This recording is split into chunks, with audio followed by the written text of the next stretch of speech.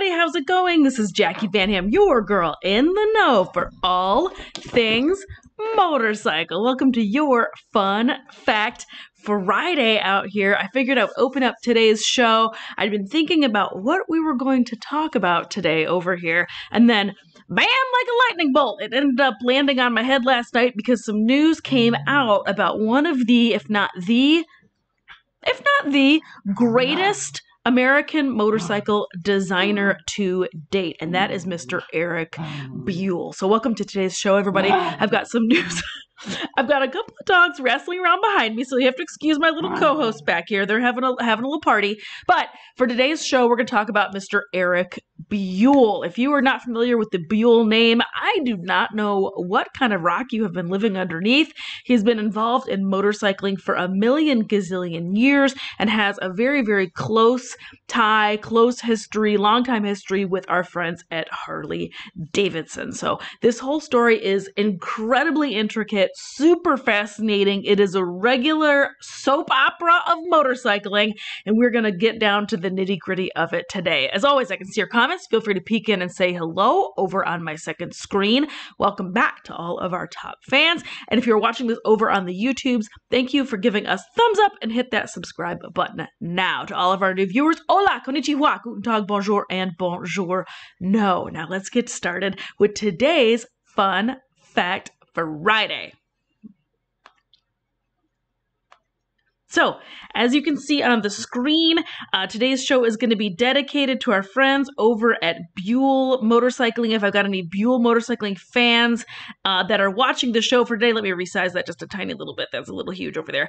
Um, today's show is dedicated to all things Buell Motorcycle, and it is a doozy. I had no idea about all of this incredible history um, within this brand. Eric Buell, let's see where we're at.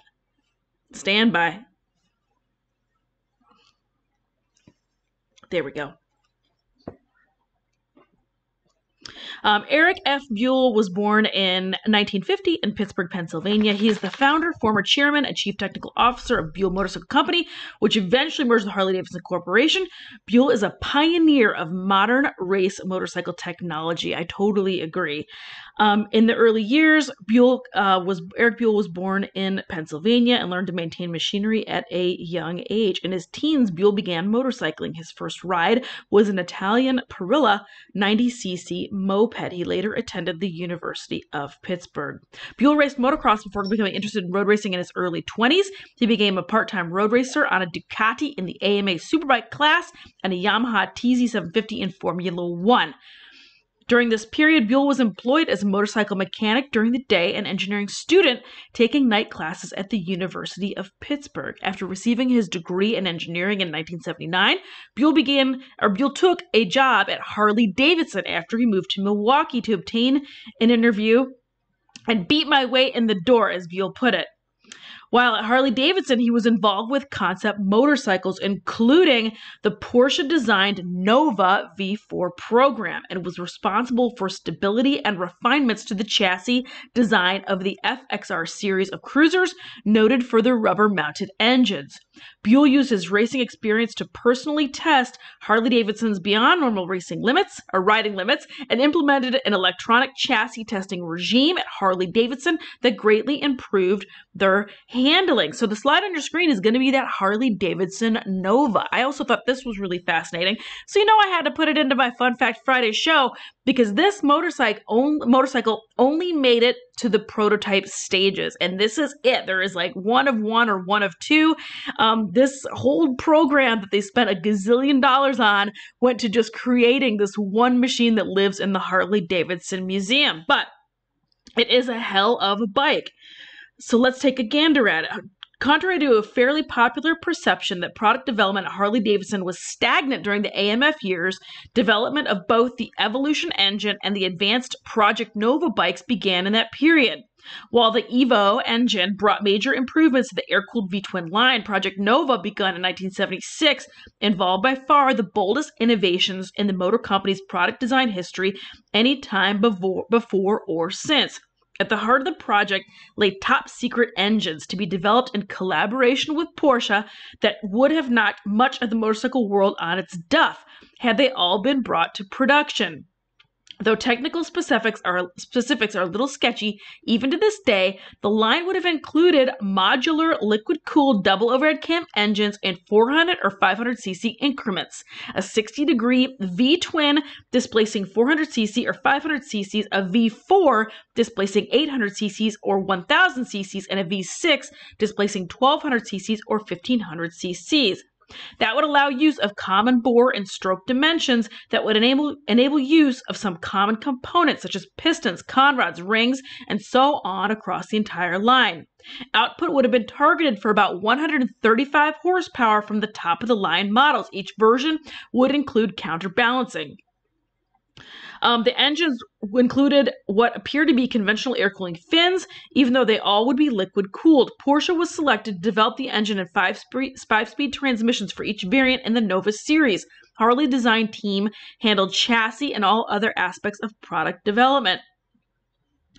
Um, so, what appears to be a fuel tank atop, atop the frame would have been used for other purposes, including elect- housing electronics, ducting air to the radiator, and the engine air intake. An electronic induction fan would assure adequate airflow to the radiator even when the bike was stationary. The reason why is not only would the Nova engine be liquid cooled, radical chassis and bodywork design would move the fuel tank under the seat, and the radiator would lie flat under the seat behind the engine with high flow air, air intakes built into the new into the all new wind tunnel designed frame mounted fairing. So super fascinating, right? So this is one thing that Eric Buell has been absolutely lauded for through, for, you know, since since this era is the fact of utilizing really really clever design in all of his bikes, including fuel in frame design, which to my mind is just super, super bonkers and way, way, way forward thinking. You know, this this project began, like I just said,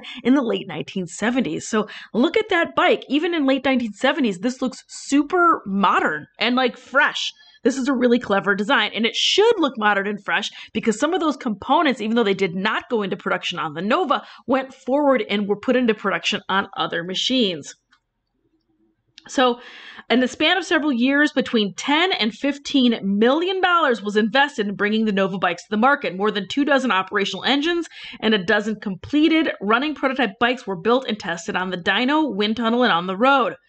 Um, Vaughn Beals, who came into Harley Davidson via AMF in 1975 and was chairman and CEO after the buyback, was one of the company's top brass who actually rode the operational prototypes of the V4 version of the Nova bikes and extolled the bike's power and handling. The Nova designs were not only radical, they were roadable. Despite the enormous investment in develop and some of the tooling necessary to manufacture the Nova series of bikes, fate and finances put the bikes into the Harley Davidson Museum instead of into production. Shortly before the buyback that occurred in June of 1981, which changed AMF Harley Davidson back to simply Harley Davidson AMF as the parent company and main source of capital for development and production, had a change of leadership at the top and a sudden change of heart about forging ahead with both the new Evo engine and the Nova project project. So they had to, they basically decided you know, it was going to be one or the other, but it couldn't be both. And the Evo engine ended up winning out. All was not in vain, as Nova's impact on Harley's future models, Nova's DNA influenced other future models. For example, the fairing that was so carefully designed and tested made it into production for use in the Nova Touring versions was used on the 1983 FXRT Sport Glide. The distinctive shape of the Nova's hard saddlebags found a place there as well. The team approach with Porsche that started with the Nova project continued on in other projects, including the eventual development of the liquid cooled VR SCA Revolution V Rod engine. So I thought that that was a super interesting tie into Harley Davidson. Those are the beginnings of his roots with Harley Davidson. Um, so anyway, so he worked with them. He worked on this Nova. Um, and then also at that same same similar time, Buell learned of the small privately held general purpose engine maker Barton, which is based out of Great Britain. He brought their limited production racer, or he bought their limited production racer powered by a water cooled 750cc square four two stroke engine. The Barton was featured prominently in the 1980 motion picture Silver Dream Racer. The bike was poorly manufactured and was constructed from cheap materials. The engine was plagued with issues, but Buell felt that with his engineering background, he could improve the engine. As parts failed, he re engineered them to increase reliability and, in many cases, saw performance gains with his modifications. The chassis was a lost cause, but Buell designed his own chassis. The engine often failed before completing a race. Buell first raced a prototype of his bike using the mostly stock Barton engine in the summer of 1982 at the AMA Nationals at the Pocono Speedway. He dubbed it the RW750. RW standing for Road Warrior. During testing at Talladega, the RW750 was clocked at a top speed of 178 miles per hour. He raced in the 500cc dominated Formula One Formula One class. He found some success at local club levels despite the grossly overpowered, unrefined engine. In 1982, Barton closed, and Buell was given the option to purchase the entire stock of spare engines and parts, drawings, and the rights to produce and sell the engine. Buell did so, but the shipment was delayed, and he missed the opportunity to make use of his new equipment and knowledge for the 1983 racing season. This delayed the development of that engine. Uh, let's see.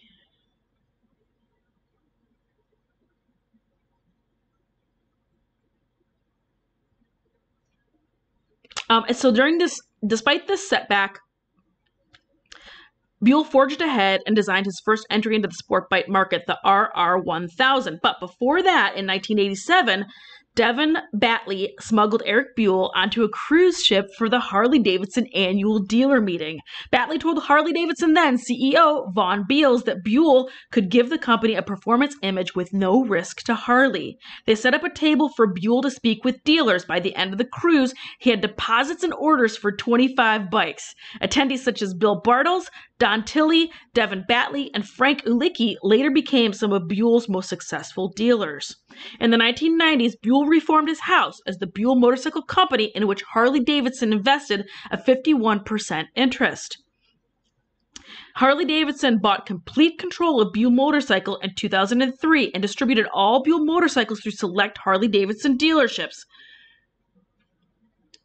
Eric Buell remained responsible for the engineering and design of all Buell motorcycles.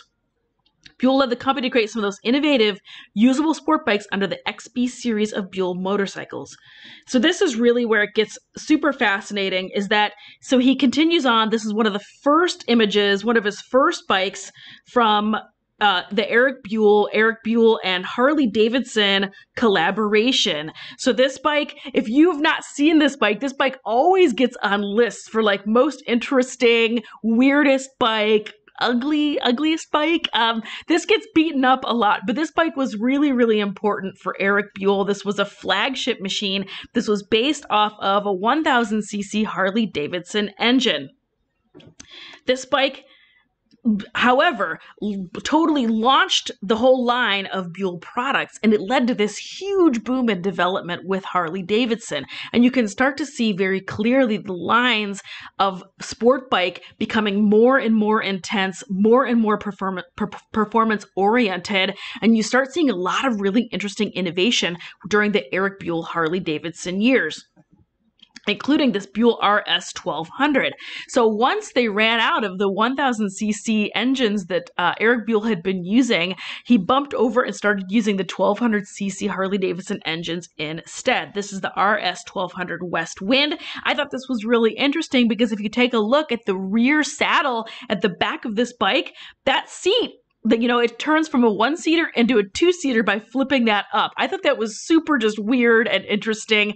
I thought that was absolutely incredible. And then some more design throughout the years from Eric Buell and his relationship with Harley Davidson, including the Thunderbolt, which is the huge step into the sport tour design category. The Buell Blast, which some of you may be familiar with, this is a single CC. Um, this is, I mean, this is a single engine, so something really different um, and wild for the folks over at Harley Davidson, releasing a single. The XB9S Lightning, again, you're going to start seeing much, much more refined looks, much more refined styling in the super sport, sport bike, and performance category while he's with Harley the XB12X Ulysses. I wanted to throw this on here today in particular because this next week, Harley Davidson is going to be launching digitally a big campaign for the Pan America. So, for a lot of folks who have kind of been a little bit up and down and wishy washy about whether Harley Davidson should be playing in the adventure category, I'm just going to say, you know, maybe look backwards through the files of Harley Davidson. They have been in this space before, they have been in this category. So, I'm, I just want to take a second and throw this Ulysses in there because this is a very like sport adventure type vibe to me. This was a real, real odd duck when it came out, and this is definitely still to this day a very cult bike um, from, from Buell fans.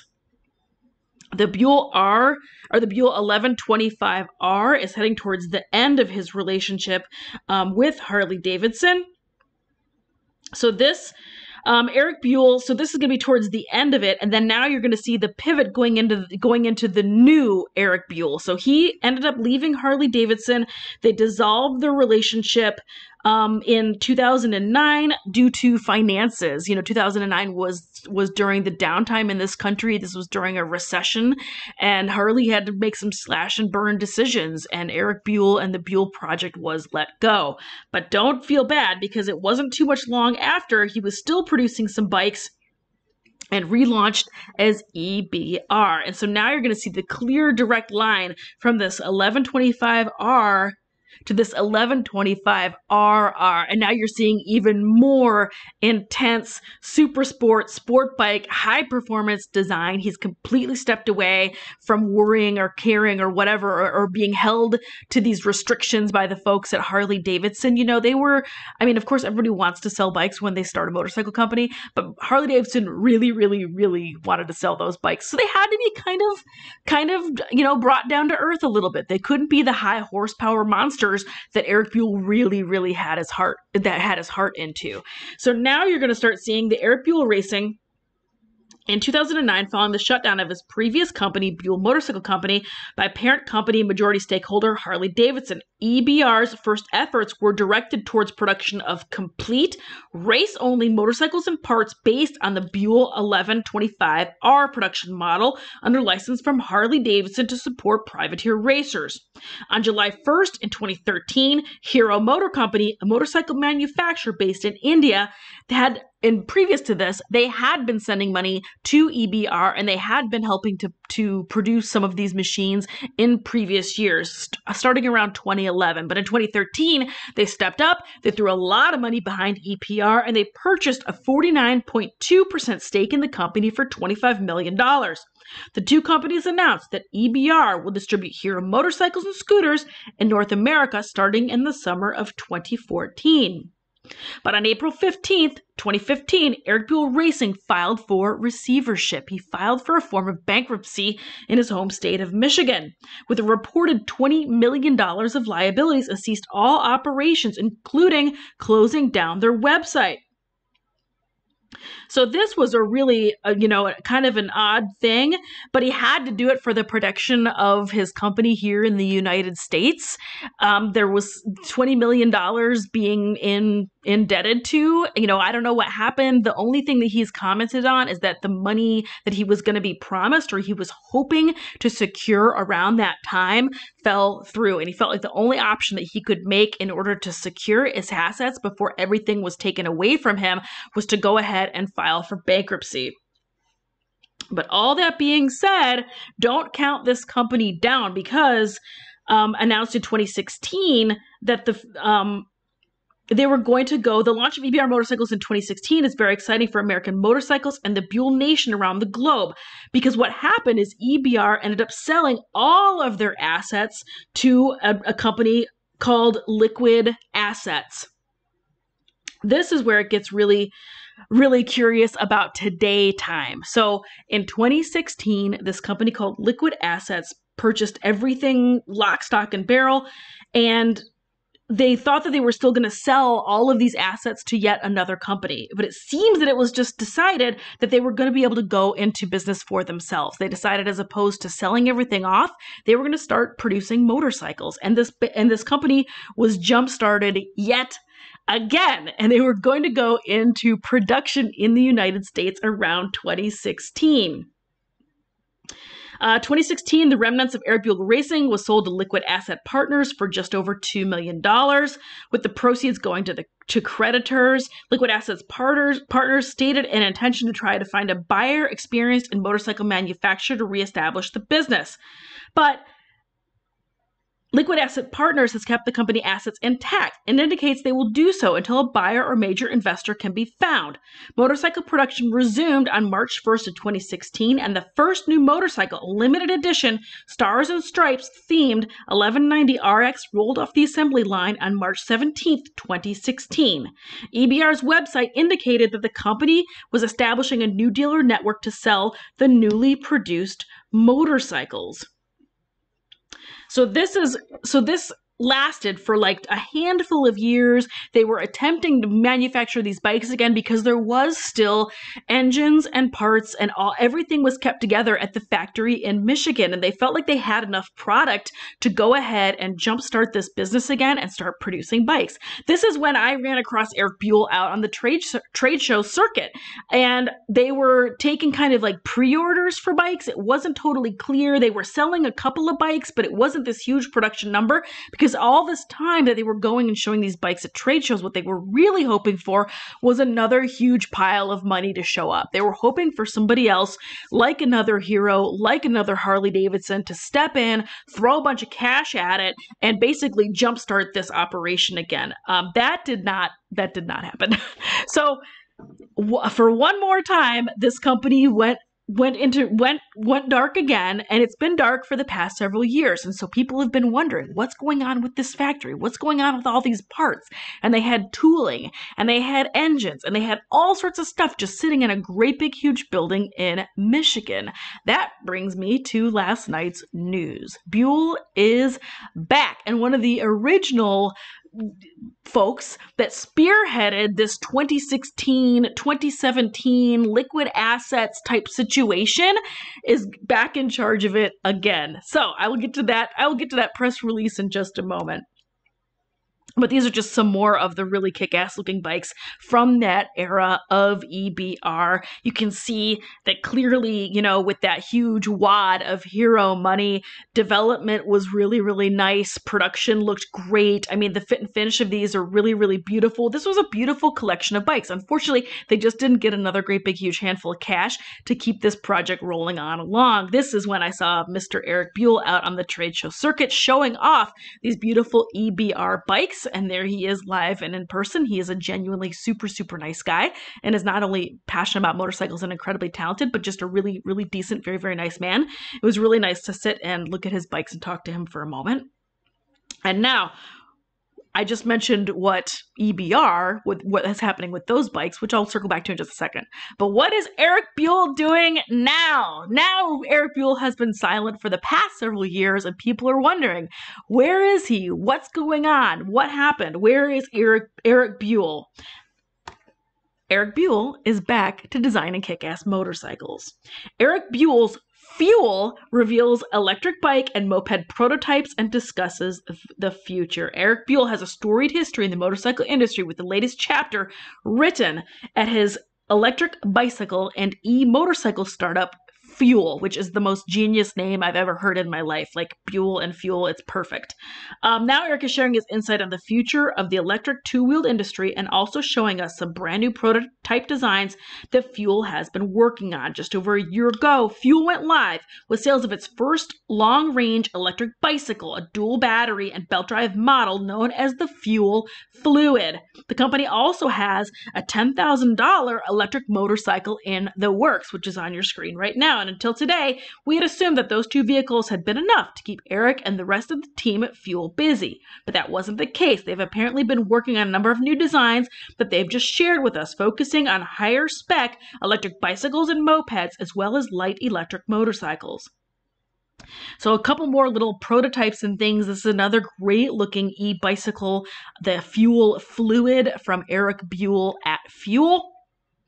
Again, just really incredible, beautiful, sleek design. I'm stoked to see him getting into the e-bicycle and e-bike category. I'm I'm a fan. I love these vehicles and machines anyway, or bicycles and machines anyway. Um, but bicycle and e-bicycle sales have been really through the roof this past year because everybody is looking to recreate outside. There has been a bit of a boom in the bicycle business, and for folks that maybe don't want to pedal all the time, uh, e-bicycles are a really, really very kick ass uh, way of, of accomplishing a little bit of outdoor fitness, a little bit of outdoor recreating, and then you can just, you know, touch the little throttle button when, you're tired of pedaling sometimes. Um, so for us chubby Midwesterners, e-bicycle seems like a hell of a great idea, and they've been they've went through a really really nice boom period in 2020.